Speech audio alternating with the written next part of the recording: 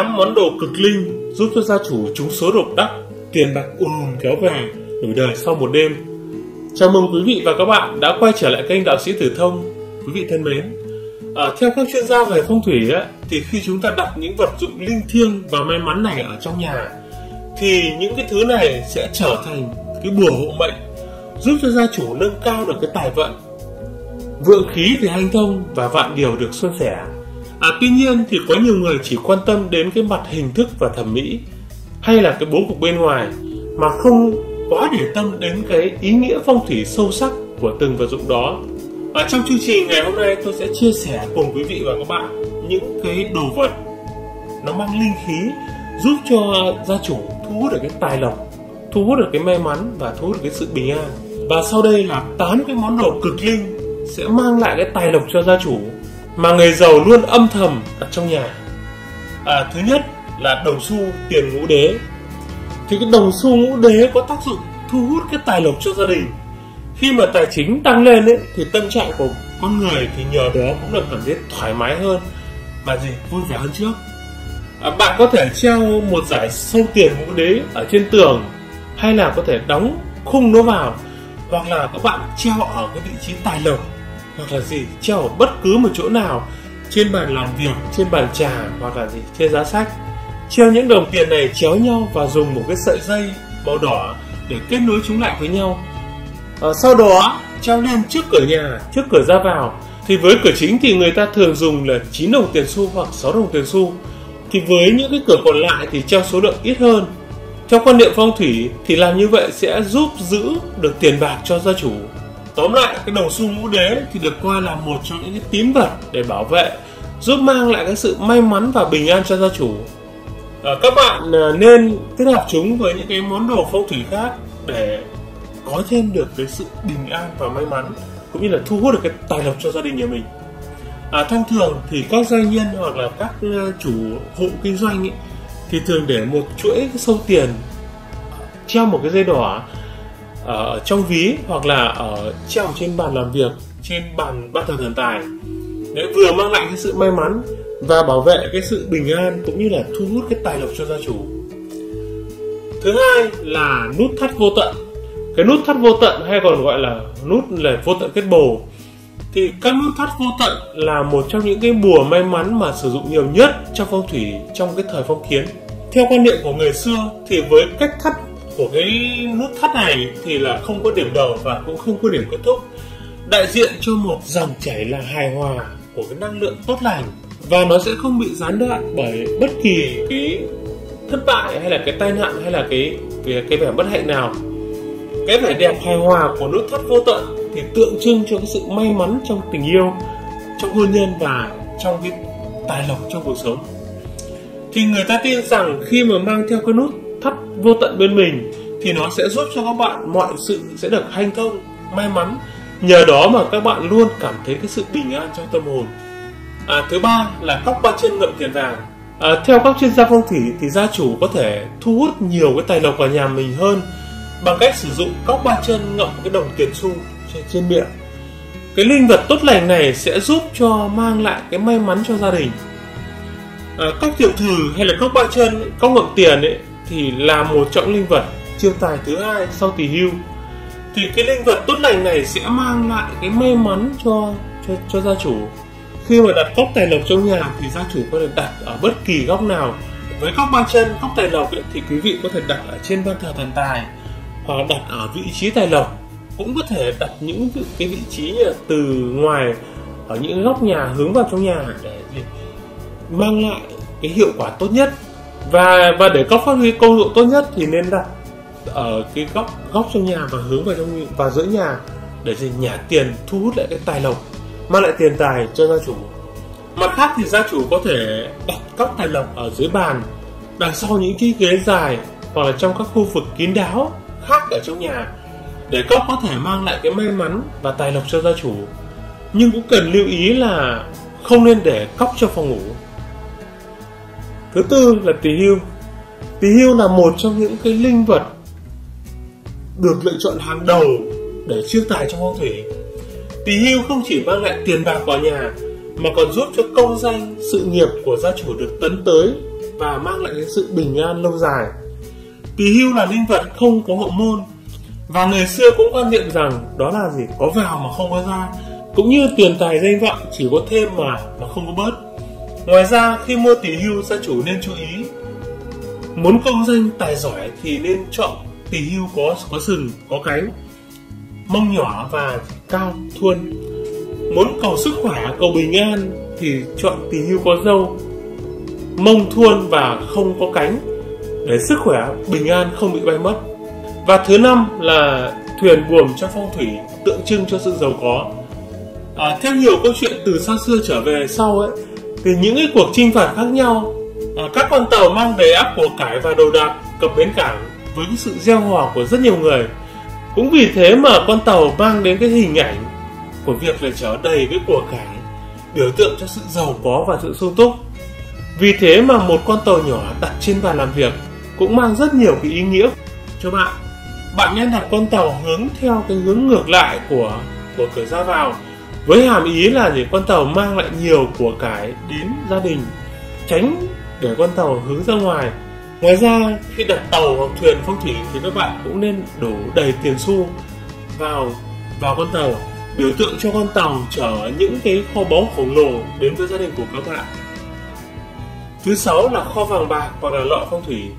À, theo phong thủy gia chủ có thể tự tay làm một kho báu vàng trong nhà để đón nhận cái vận khí may mắn ở trong cái kho báu này thì gia chủ có thể đặt những cái thỏi vàng giả hay là đặt những viên ngọc có nhiều màu sắc để biểu trưng cho cái tài lộc được tập trung tại ngôi nhà của các bạn. Kho báu phong thủy này sẽ mang lại đến cái một nguồn năng lượng tài lộc dồi dào.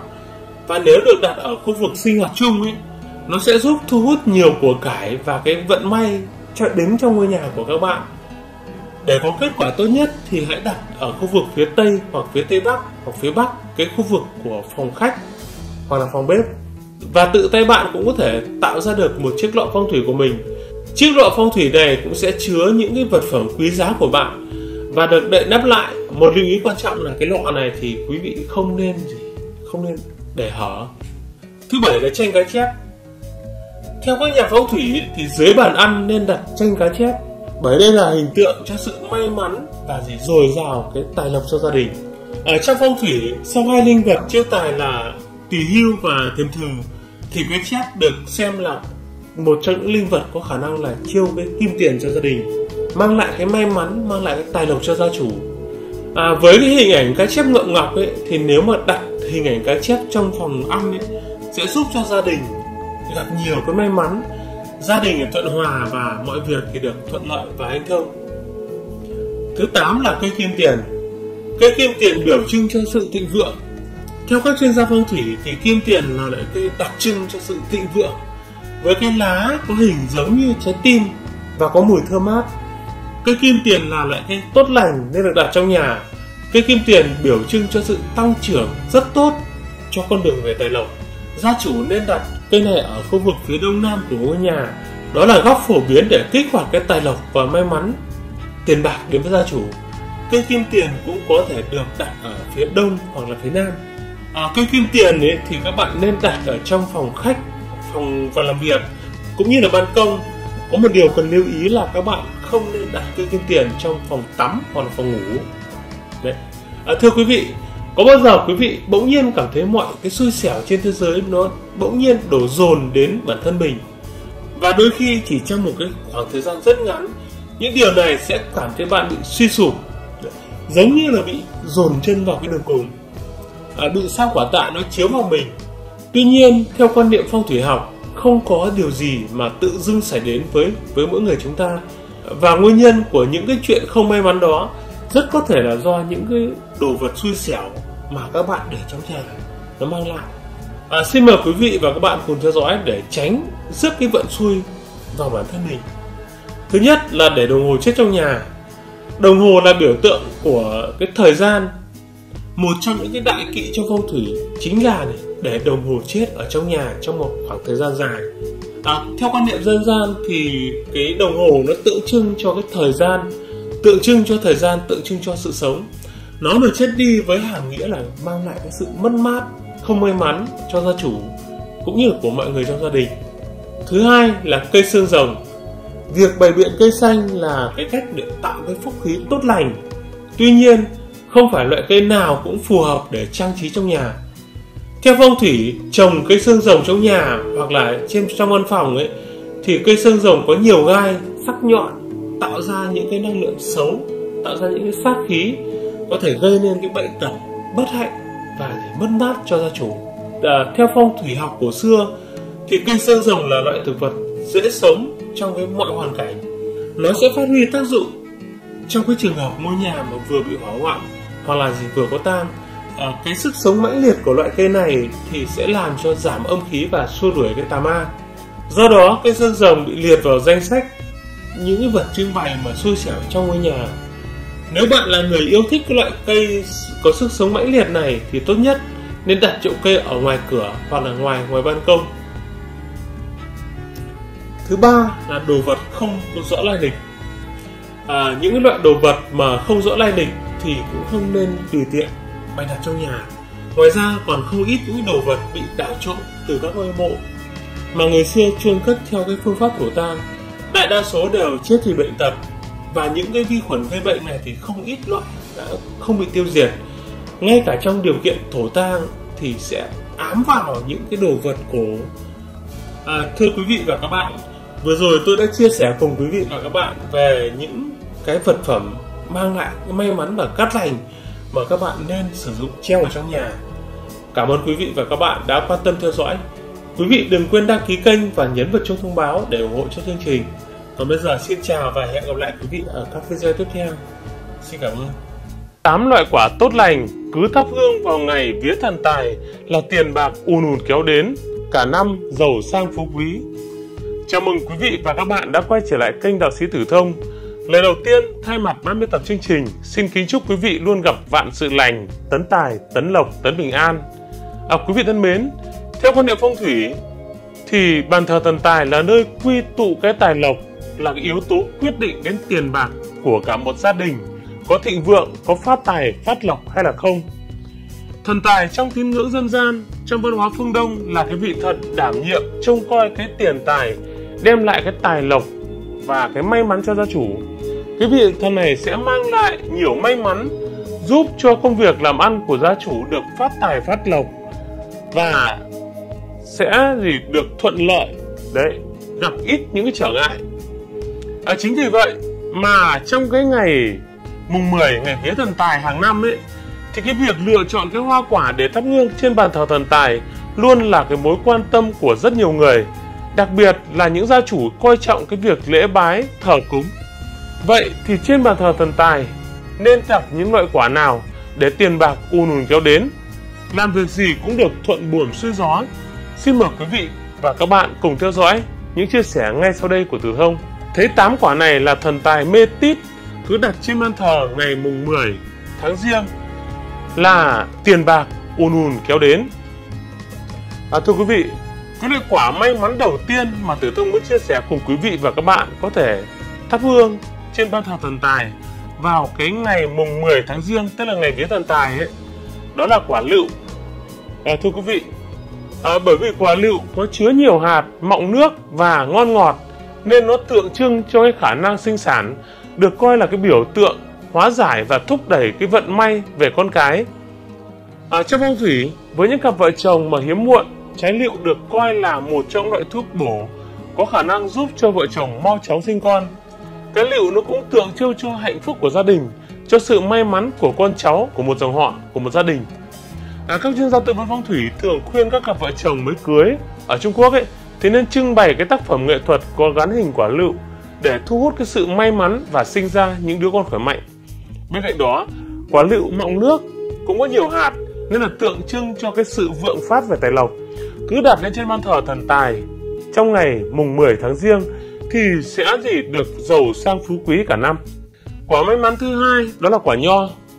À, thưa quý vị, trong phong thủy, trái nho tượng trưng cho cái sự phong phú của cái thực phẩm, có nghĩa là một sự phong phú về của cải, về vật chất. Nho đại diện cho cái sự thành công đang hiện hữu trong gia đình, hoặc là gì? Cho tương lai không xa. Vì vậy, trong các gia đình ở Trung Quốc thì cái hình ảnh trái nho nó rất phổ biến. À, đôi khi nho cũng được sử dụng như là một cái biểu tượng phong thủy giúp hóa giải các vấn đề về con cái cũng như là gì một phương thức hóa giải gì hóa hung thành cát su cát địa hung. Đặt trên ban thờ thần tài quả là một cái điều mà cực kỳ là hữu ích giúp gia chủ có thể thâu thu thêm nhiều cái may mắn tài lộc trong ngày mùng 10 tháng riêng. À, thứ ba là quả đào. À, thưa quý vị đào là một trong những cái biểu tượng trái cây phong thủy rất phổ biến. Nó là cái biểu tượng cho sự bất tử. Đào cũng được biết đến trong phong thủy như một cái loại quả của thiên đường vì nó nổi bật trong rất nhiều truyền thuyết cổ đại của Trung Quốc kể về những vị thần bất tử. Đào có liên quan đến cái sự giàu có, khỏe mạnh, sự phong phú và tuổi thọ. Trái đào cũng được biết đến là một cái biểu tượng phong thủy của tình yêu và của hôn nhân.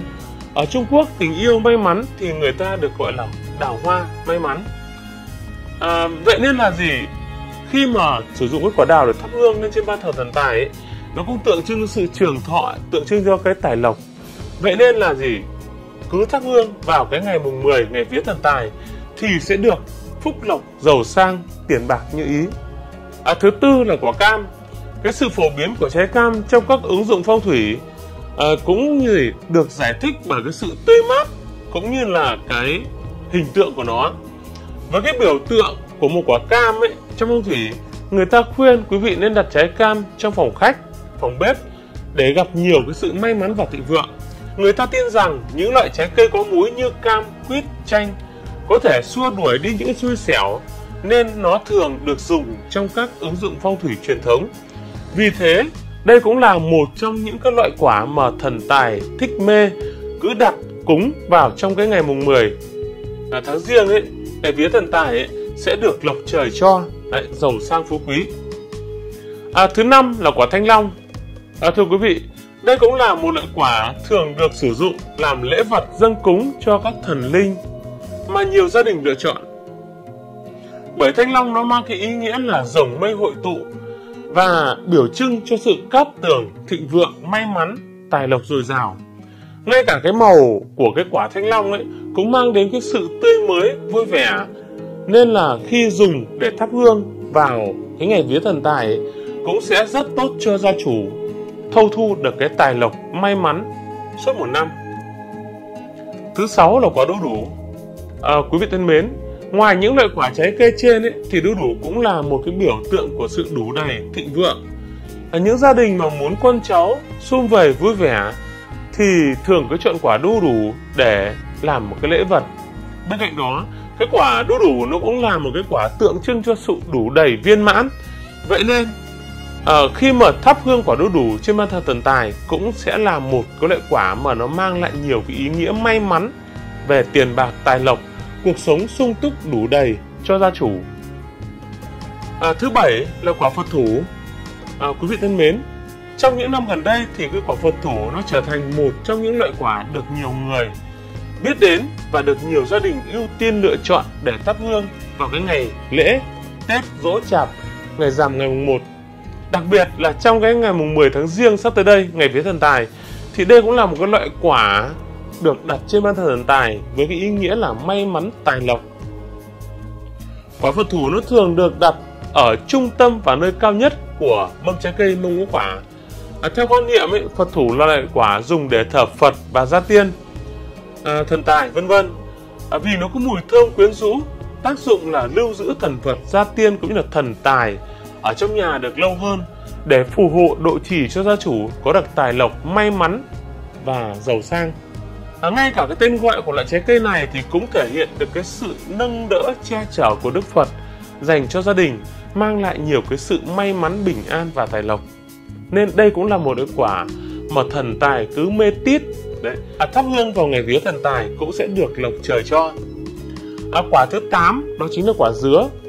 À, quý vị thân mến quả dứa của miền Bắc hay là gọi là quả thơm của miền Nam ấy thì đối với người miền Nam ờ, thì khi mà chọn trái cây làm lễ vật dân cúng ấy thì rất chú trọng đến cái tên gọi của quả với cái ý nghĩa như thế nào chẳng hạn như trong tiếng Hán thì dứa nghe như là cái từ may mắn theo cách nghĩ của bạn vì vậy mà dứa đã trở thành một trong những biểu trưng phong thủy truyền thống cho sự giàu có, sung túc và may mắn.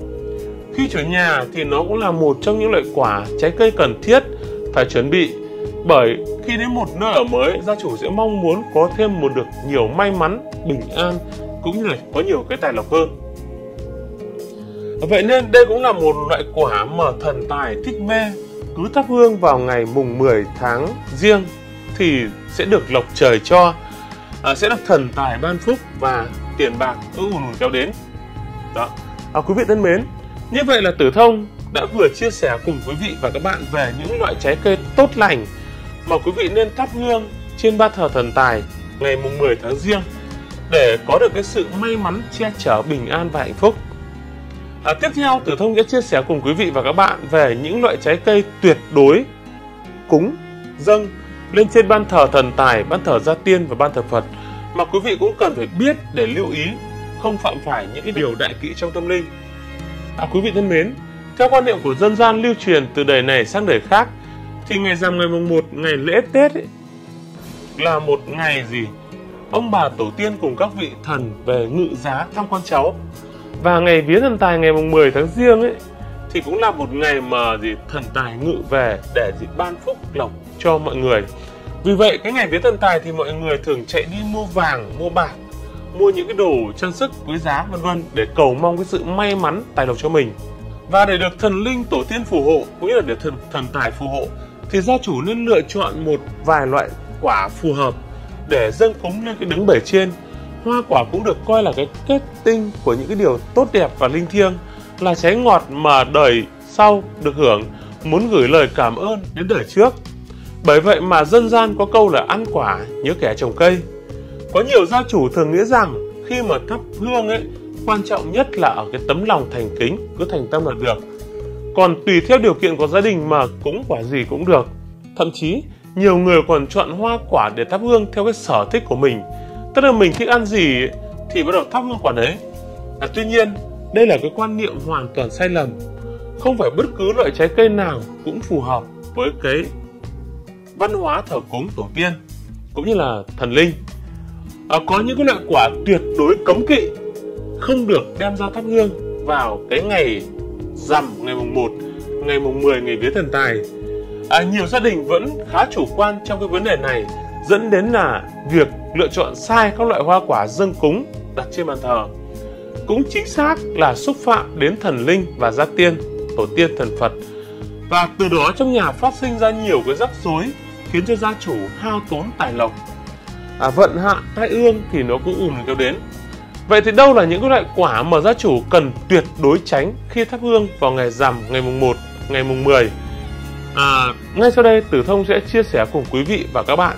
À, quý vị và các bạn hãy lắng nghe để không phạm phải những cái sai lầm đáng tiếc. À, thứ nhất, à, ngày rằm, ngày mùng 1, ngày mùng 10 không được thắp hương các loại quả có gai nhọn. Quý vị thân mến, vẫn biết rằng các loại quả có gai như là mít, sầu riêng đều có cái hương thơm và vị rất ngon, hấp dẫn được rất nhiều người vô cùng là ưa thích. Tuy nhiên, xin cảnh báo với gia chủ tất cả những cái vật gì có hình thù sắc nhọn như là đinh gai dao kéo thì đều mang nhiều cái âm khí sát khí. Nếu mà đem con đại quả này đặt lên trên ban thờ thì chẳng khác nào là mang cái chướng khí đặt lên ban thờ. Một nơi linh thiêng như vậy cần phải tuyệt đối tránh xa những cái điều này. À, thắp hương bằng một loại quả mà có gai chi chít thì cái sự bình an sức khỏe của cả các thành viên trong gia đình cũng sẽ sẽ bị ảnh hưởng nghiêm trọng Vậy nên, dù có thích đến mấy thì các loại quả này cũng chỉ nên dùng để ăn, chứ tuyệt đối không nên thắp hương.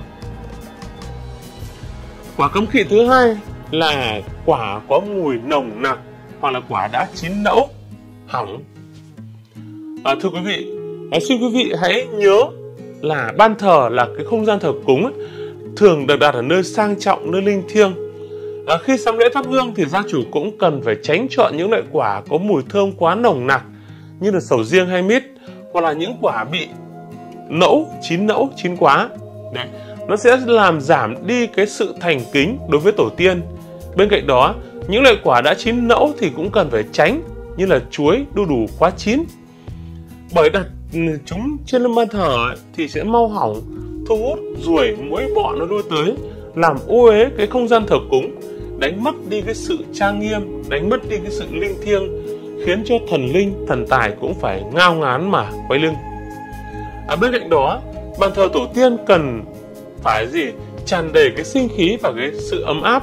Đặc biệt trong những ngày lễ tết dỗ chạp ngày mùng 1 ngày rằm ấy vì vậy tốt hơn là gia chủ nên chọn những loại quả có thể là gì? Trưng được lâu có độ chín vừa phải như là táo chuối xanh bưởi vân vân. Quả cấm kỵ thứ ba là dùng hoa quả giả để thắp hương vào ngày rằm ngày mùng 1 cũng như là ngày vía thần tài. À, các bạn có biết rằng thắp hương hoa quả giả chính là một cái sự xúc phạm lớn nhất đối với thần linh và tổ tiên hay không? Nhiều gia đình vì bận rộn công việc hay là không có điều kiện về kinh tế thường mua một mâm ngũ quả giả về để thắp hương để được thắp được nhiều lần và để tiết kiệm chi phí. À, và vì cho rằng các cụ chỉ ăn hương ăn hoa nên là cứ bày hóa hoa quả giả là được miễn sao đẹp mắt. À, tuy nhiên cái việc làm này nó thể hiện cái sự vô tâm và không có cái tấm lòng thành kính à, chẳng khác nào là lừa dối là coi thường những người đã khuất à, khi một con cháu không thành tâm thì chắc chắn không thể nào nhận được cái sự phù hộ của tổ tiên. À, nếu mà gia đình mà không có điều kiện đấy để thắp hương vào ngày rằm ngày mùng 1 hàng tháng ấy thì chỉ cần chuẩn bị duy nhất một thứ quả thôi cũng được. Nhưng mà phải là trái cây thật dù cho là vô tình hay là cố ý thắp hương bằng cái hoa quả giả vào ngày rằm ngày mùng 1 hoặc là ngày mùng 10 ấy, cũng là một cái sự xúc phạm khiến cho thần linh tức giận trừng phạt cả gia đình. Cấm kỵ thứ tư là không thắp hương những loại quả mọc sát đất. À quý vị thân mến theo các bạn thì vì sao ban thờ lại được đặt ở vị trí cao nhất trang trọng nhất ở trong nhà? Đó là bởi ban thờ cần phải được trang trọng tôn nghiêm và nó thuộc về phần thiên. À, phải tách biệt với địa là thuộc về phần đất. Đấy. À, khi thờ cúng thì chúng ta cũng áp dụng cái nguyên tắc này để tuyệt đối không thắp hương ngày rằm ngày mùng 1 ngày vía thần tài bằng những loại hoa quả mọc sát đất hay thậm chí là gì? Những loại quả mọc trong lòng đất. À, chắc chắn các gia chủ cũng không muốn đặt một loại quả còn vương vãi đất đai lên trên ban thờ để thắp hương đúng không ạ? À, có thể kể đến các loại quả như là có họ với nhà cà chua me thanh trà bí đao là những loại quả mà không nên chọn để thắp hương dâng lễ. Tốt nhất là các bạn nên lựa chọn những quả mọc trên cao như là cam xoài đu đủ táo thì sẽ đảm bảo được cái sự thanh cao và thể hiện được cái tấm lòng thành kính đối với tổ tiên. Thứ năm là những loại trái cây méo mó hoặc là có hành thủ kỳ quái kỳ dị. À, thưa quý vị cấm kỵ đem thắp hương những loại trái cây như vậy thì đây là cái sai lầm phổ biến mà rất nhiều người mắc phải mà không hề hay biết liệu bạn có đang mắc phải những cái sai lầm này hay không? À, chẳng phải bỗng nhiên mà nhiều người ấy lại ưu tiên loại quả đẹp mắt để thắp hương. Bởi họ nhận thức được rằng cái việc dâng cúng tổ tiên một loại trái cây méo mó chẳng khác nào là một cái sự xúc phạm đến thần linh gia tiên cả. Đặc biệt là những loại quả bị dập, nát, thối hỏng, đứt cuống, méo mó phần đầu hoặc là sần sùi hoặc là gì có nhiều vết rám, nhiều vết ong đốt, nhiều vết côn trùng cắn thì lại càng nên tránh xa bởi chúng sẽ mang lại cái nguồn năng lượng xấu làm ảnh hưởng đến cái vận may cũng như là cái phước khí của các thành viên trong gia đình tốt nhất là các bạn nên chọn những loại quả tròn trịa đều đẹp mắt để vào thắp hương vì chúng sẽ mang lại một cái nguồn năng lượng tích cực tượng trưng cho cái sự tốt lành, xuân sẻ, sung túc, đủ đầy. Thứ sáu là không thắp hương các loại hoa quả đắng, cay, chua chát. À, các bạn nghĩ rằng cái việc xương cúng lên trên ba thờ ngày rằm ngày mùng 1 các loại quả có vị chua chát, đắng cay có phải là tự chuốc lấy cái xui xẻo vào thân thể hay không? Này, chúng ta thờ phụng tổ tiên đấy, hương thơm cháy ngọt là để bày tỏ cái lòng biết ơn với những người đã khuất Cảm ơn họ vì đã mang cho con cháu ngày hôm nay một cuộc sống hạnh phúc bình an, đồng thời cũng là cái lời cầu mong thần linh phù hộ để công việc làm ăn được suôn sẻ, thuận lợi. À, còn những trái cây như là ớt, me, khổ qua, nhót là những loại trái cây có vị chua chát. bản thân người ăn còn cảm thấy là nhăn mặt suýt xoang thì không có lý do gì để dâng cúng lên thần linh ra tiên cả đúng không ạ à, quý vị hãy ghi nhớ điều này để không tự dứt lấy cái tai họa khi mà thắp hương trong cái ngày mùng 10 tháng riêng và ngày rằm tháng riêng sắp tới đây à, rất cảm ơn quý vị và các bạn đã quan tâm theo dõi à, thưa quý vị như vậy là Tử Thông đã vừa chia sẻ cùng quý vị và các bạn về những loại quả tuyệt đối cấm thắp hương trong cái ngày vía thần tài ngày mùng 10 tháng riêng âm lịch. À, rất cảm ơn quý vị và các bạn đã quan tâm theo dõi. Quý vị đừng quên đăng ký kênh và nhấn vào chuông thông báo để ủng hộ cho chương trình. Còn bây giờ xin chào và hẹn gặp lại quý vị trong những video tiếp theo.